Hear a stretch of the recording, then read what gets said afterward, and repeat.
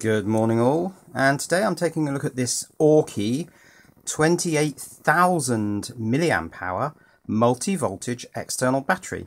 It has an aluminium casing, smart LED indicator which sort of rotates around, 5 volt outputs, two of those USB, 12 volts, 16 or 19 volts on a 2.1 millimeter uh, output, uh, charges the iPhone 13 times and an iPad at least 1.5 times, has overcurrent, overload, short circuit protection. This is the model PB017.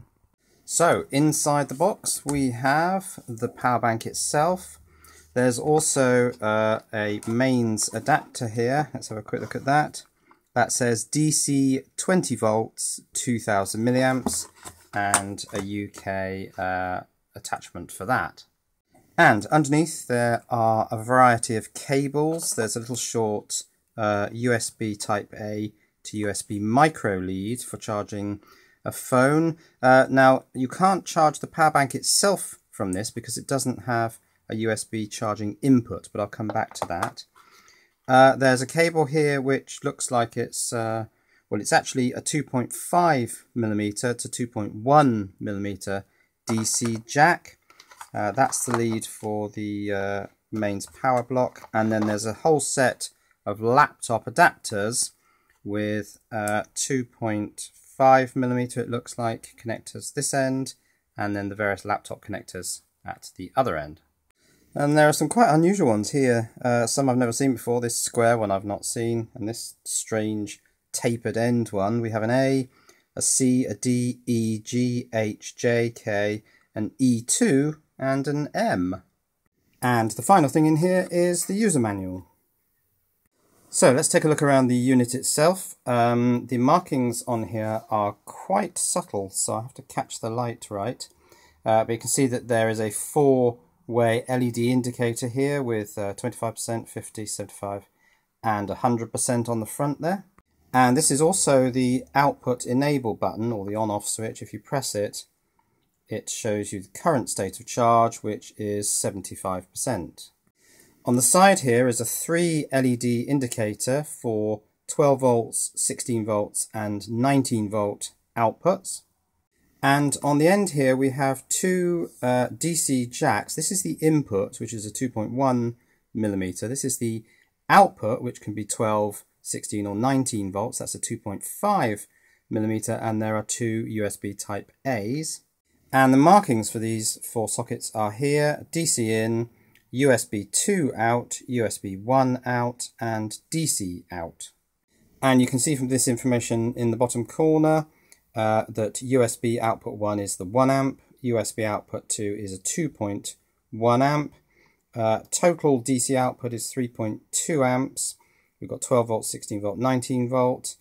Now the input is a DC 15 to 19 volts at 2 amps, which is interesting. You don't charge this thing with 5 volt USB. Uh, capacity 28,000 milliamp hours. That's at uh, measured at 3.7 volts. Now, curiously, although the uh, input charging voltage is marked as 15 to 19 volts, the supplied adapter actually says it's 20 volts. So it might be worth looking at what's coming out of there. Um, now, I thought, well, okay, this thing has obviously got a, a wider range than 15 to 19. So I've actually tried charging this from 12 volts and on the whole it seems to be successful. And you can see here that the voltage output uh, from the supplied DC adapter, AC adapter, is in fact 20 volts there. Now I'm just going to check the signaling on the two USB outputs. Uh, this is USB 2 output. Now they don't come on until you press this button and then they stay on for a certain amount of time and if no current is being detected drawn, then they switch back off again. But uh, this USB 2 output is showing that it's an Apple 2.1 amp signaling. Let's check the USB 1 output, and that's showing as an Apple 1 amp signaling. So certainly they're consistent with what's on the labels. Uh, what's on these labels here, that is.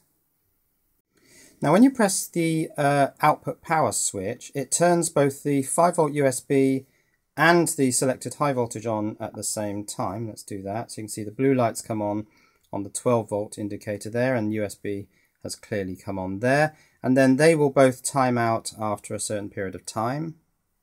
Uh, if you're drawing current from either the 5 volt output or the high voltage output then they stay on indefinitely, of course until the battery uh, runs out of power.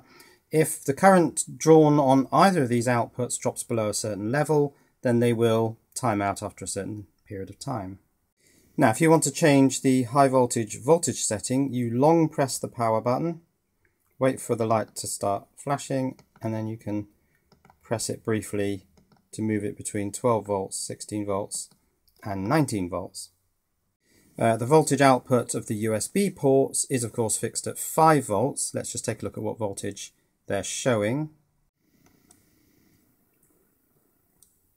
and so they're both indicating approximately 5.1 volts. Now let's take a look at this uh, LED indicator.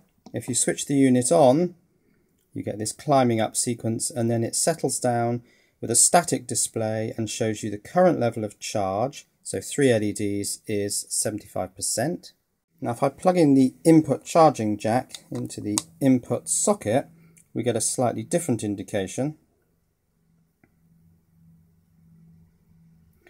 It alternates between climbing up the four steps, which shows that it itself is charging, and then drops back to the three LEDs to show you the current level of charge. Now at the moment I'm using it effectively in pass-through mode. I've got uh, input power coming into the input socket and I'm also charging uh, something else from one of the USB sockets. Let's have a look at what the manual says about pass-through mode. And it says, although PB017 supports recharging and discharging at the same time, we suggest do not do that because of the low charging efficient and on the other hand it will do harm to the PB017's internal battery. Well, I've been using this for quite a while. I've been doing a lot of simultaneous charging and discharging and it's been absolutely fine the only thing I would say is that uh, most of my discharging has been at a higher rate than the charging, so the battery has been generally losing its charge. And I think in that mode it is safe and it behaves itself. But if the manual warns don't do it and you're concerned, well, don't do it. Now I'm going to do some uh, capacity checks to confirm this 28,000 milliamp hour rating. I'm going to do that with the uh, YZX Studio power monitor. That will take a little time to do, so I'll put the results of those checks on my website uh, when they're done, and I'll put a link in the description through to them so that you can see what the actual capacity of this power bank is. Now, what about size? Well, you can get an idea of size uh, from this A4 cutting mat. The manual says it's 192 by 117 by 22 millimeters, which is 7.5 by 4.5 by 0.9 inches. Now, I'm just going to put it next to a couple of other power banks, which are fairly large ones. Again, just so you can get an idea of the size of the Aukey 28 amp hour pack. It is very large, but of course it does store a lot of energy. So here's the item on amazon.co.uk. It's the Aukey 28,000 milliamp hour, multi-voltage 5 volt, 12 volt, 16 volt, 19 volt external battery pack with quick charge and aluminium body design for all these devices.